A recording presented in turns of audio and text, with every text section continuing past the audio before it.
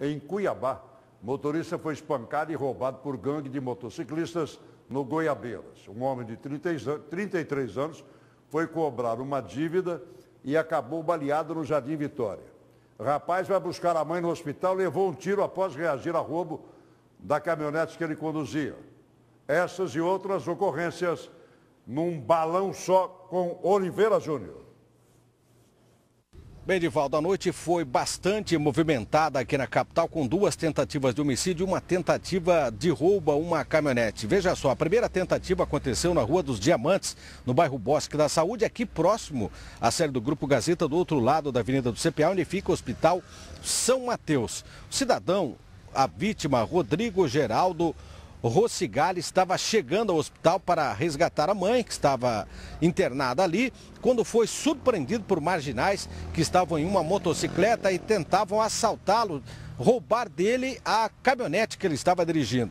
Ele, desesperado, deu ré para tentar uma reação e acabou levando um tiro no rosto e ainda teve condições de dirigir a cerca de 100 metros até o hospital, descer da caminhonete e ser atendido. Os suspeitos desta tentativa de roubo, que virou tentativa de homicídio, não foram localizados pela polícia, mas veja só o perigo que está a cidade, o cidadão chegando ali num bairro nobre, que é o bairro Bosque da Saúde, para adentrar ao hospital e foi vítima de uma tentativa de roubo. Na rua 30, no Jardim Vitória, Joilson dos Santos Rodrigues, de 33 anos de idade, foi cobrar um cidadão conhecido como Garrinchinha.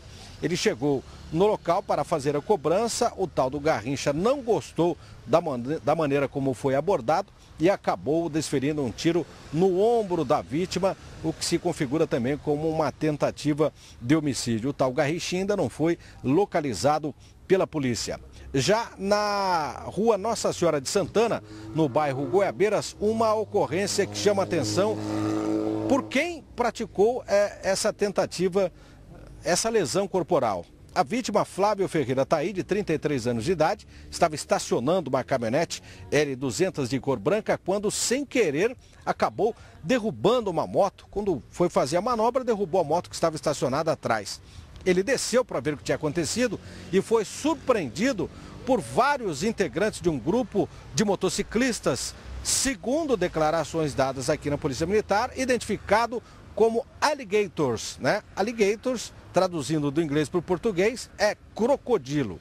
E esse grupo de motociclistas é, partiu para a agressão, chute, socos, pontapés, derrubaram a vítima no chão, ela saiu correndo, gritando socorro, quando foi socorrido por populares e a polícia foi acionada. Os integrantes desse grupo, alligators, não foram localizados e a vítima teve subtraída durante a confusão a chave do veículo, a carteira, com vários cartões de crédito, todos os documentos, 150 reais, além de um aparelho de telefone celular aí que custa cerca de 2 mil reais. A polícia agora está tentando localizar esse grupo de motociclistas que teria praticado esta agressão, lesão corporal e também o furto. Com imagens de Wilson Fernandes Oliveira Júnior para o Cadeia Neles.